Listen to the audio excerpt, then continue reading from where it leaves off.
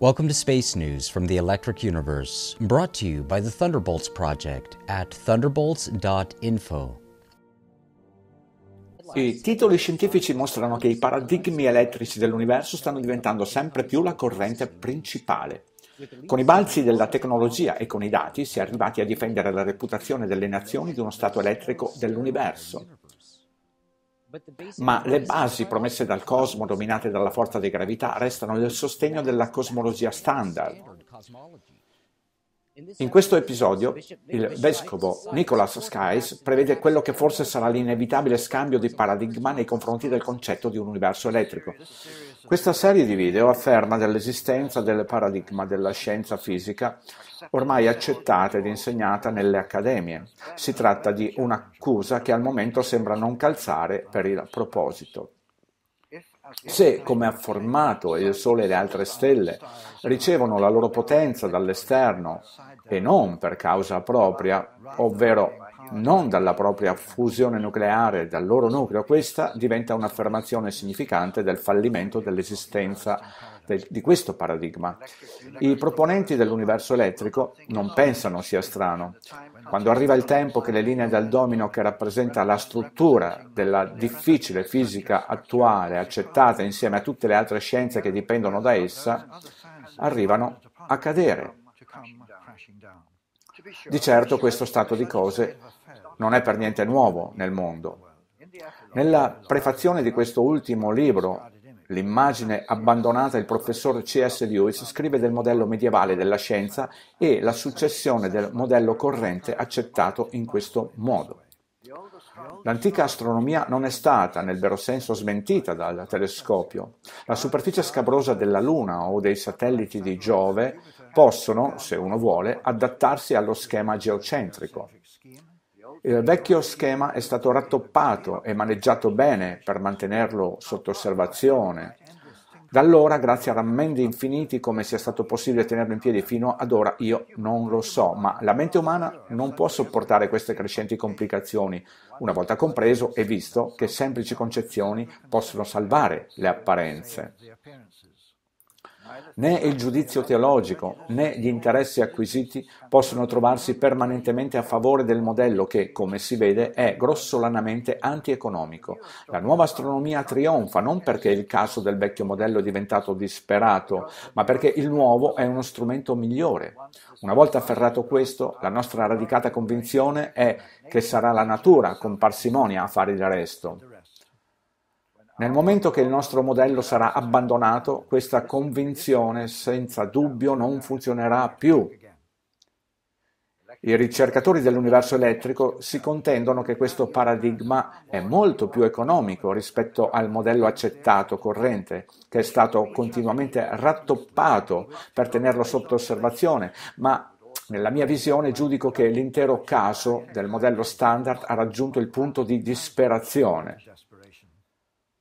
Ritorniamo all'argomento della relatività.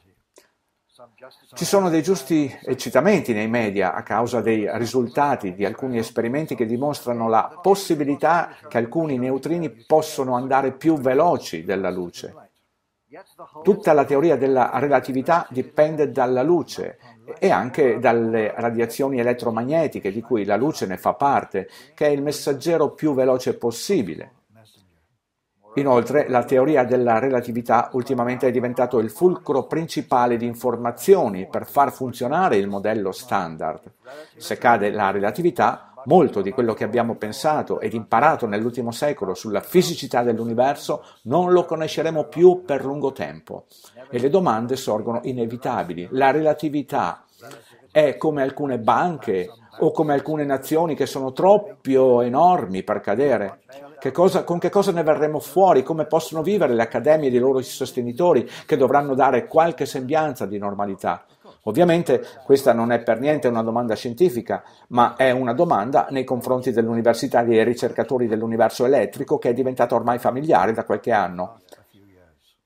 Inoltre esiste un numero sempre più crescente di scienziati indipendenti che hanno provato con soddisfazione di molti che la teoria della relatività non può stare in piedi a dispetto dei tanti che in generale la sostengono. E mi piacerebbe supportare col mio poco valore questa voce. Il famoso docente Richard Feynman ha fatto notare, se il Sole esplodesse proprio adesso, impiegherebbe otto minuti prima che noi sappiamo questo, e non è possibile che ne siamo influenzati prima.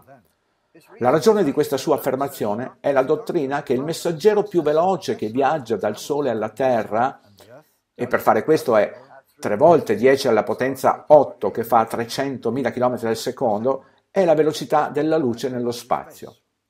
A questa velocità della luce il Sole, visto dalla Terra, appare dove apparentemente doveva trovarsi 8 minuti fa e non dove si trova proprio adesso che lo vediamo. Quindi, se il Sole, a causa della sua forza gravitazionale, causa alla Terra di, orbitar, di orbitargli attorno, l'attrazione del Sole sulla Terra dovrebbe essere esattamente dove si trova in questo momento, non dove era otto minuti fa.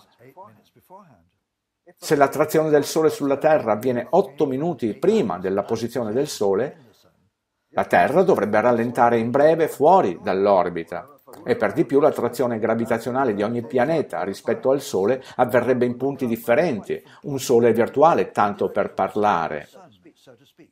E non potrebbe essere mantenuto un coerente sistema planetario. Per seguire questo deve esistere un messaggero più rapido di quello chiamato gravità, che viaggia fra il Sole ed i pianeti ad una velocità che mantiene la trasmissione della luce. E sembrerebbe facile. Non abbiamo bisogno di alcun esperimento sul neutrino che ci dica che possiamo viaggiare più veloci della luce. Basta semplicemente tenere in considerazione tutte le osservazioni, da dove si deduce che la Terra e gli altri pianeti si muovono attorno al Sole in orbita stabile per un periodo di tempo esteso. Questo richiede che il messaggero gravitazionale sia inviato dal Sole e ricevuto dalla Terra nello stesso modo degli altri pianeti, istantaneamente. La speciale teoria della relatività di Einstein dovrebbe essere stata rigettata molto tempo fa. Ralph Thornhill ha applicato questa vicina ed istantanea trasmissione di forza a livello delle particelle fondamentali della materia, quali gli elettroni, fornendo la possibilità di una spiegazione elettrica della gravitazione a livello subatomico. E dobbiamo considerare questo stimolante scenario nelle future presentazioni. For continuous updates on space news from the electric universe, stay tuned to thunderbolts.info.